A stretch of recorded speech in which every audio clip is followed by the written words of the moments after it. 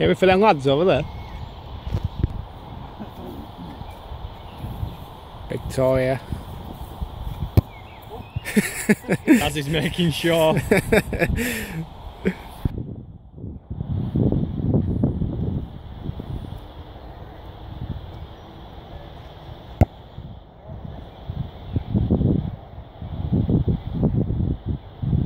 oh, you just uh,